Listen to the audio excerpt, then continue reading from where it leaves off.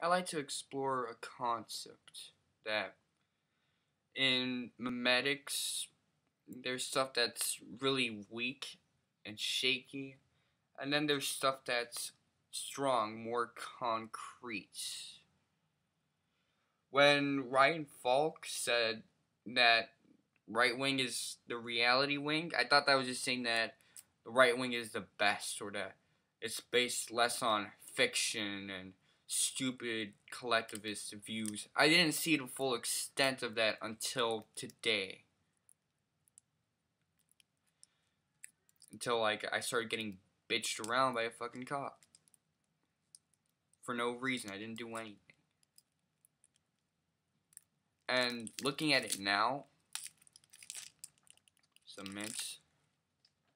I kind of realize that these things you present about yourself, uh,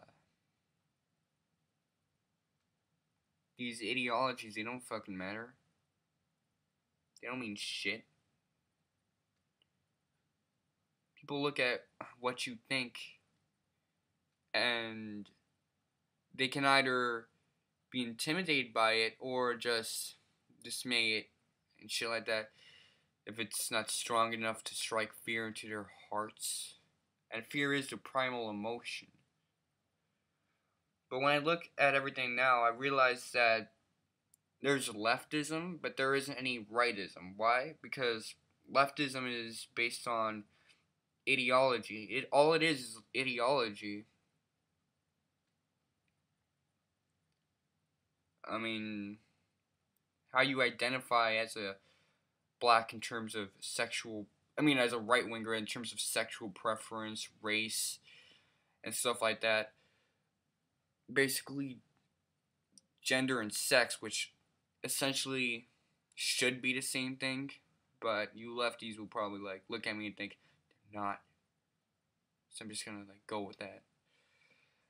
Essentially, they are the same thing.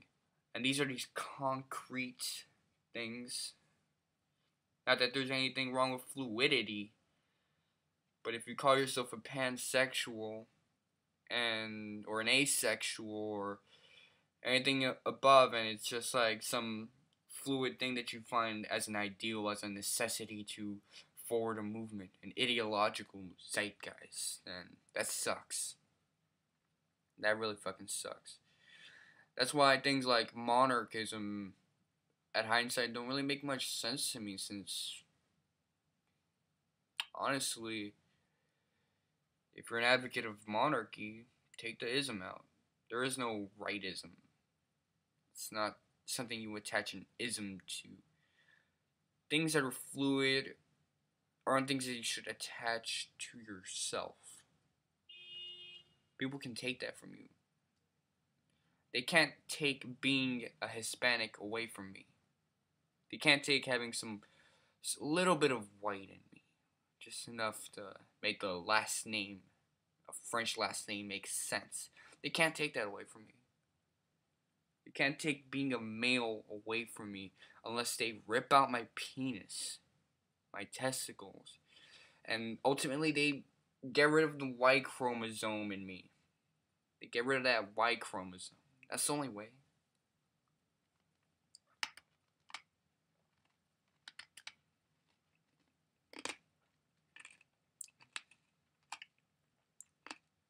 I can't identify as an anarchist anymore. Anarchism? No. I can hold on to similar views, same views, same concepts, but anarchism, an ism, and ideology.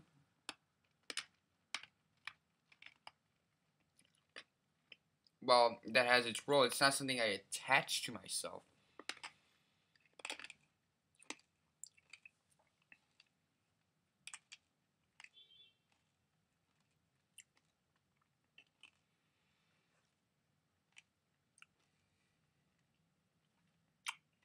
So then what can I identify myself as? I can identify myself as something that isn't based on ideology. What?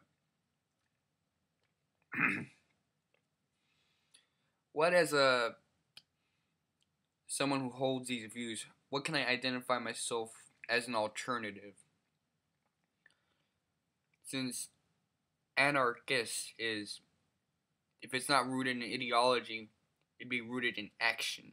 It'd be rooted in something you are that separates you from somebody else. Something that, therefore, can't be taken away from you. Something that is of property to you. That's why these feminists aren't really out there for women, since they aren't protecting what separates women from me, a male. They want to make them more like me, and they want to make me more like them.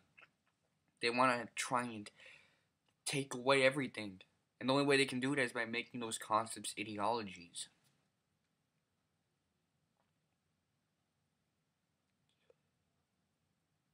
If I can't call myself an anarchist, because that's rooted in anarchism now, I guess I can call myself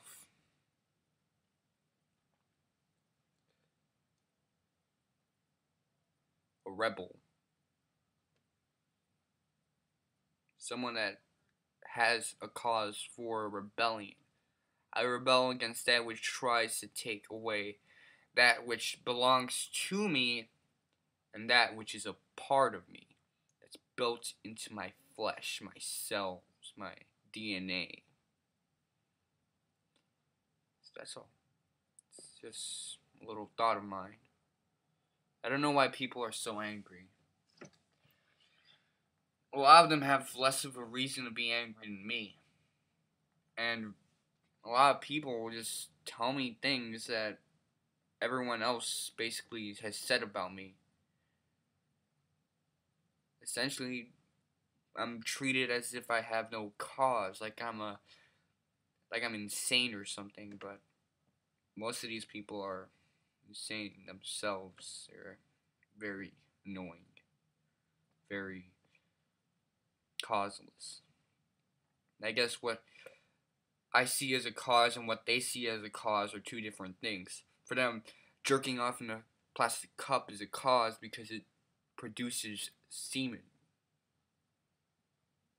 and uses a cause in cup in a process. as opposed to actually building something. But what do I have to build? I guess I can just like fuck around, do some shit to occupy my time. I mean, if I'm not occupying my time, I'm losing hope. And if I'm losing hope, I'm killing myself in the process. Therefore, that's kind of what I. That's what I have to live through. That's what you have to live through. I am a fucking rebel. I'm a rebel with a cause. Call that cliche? I call that brilliant.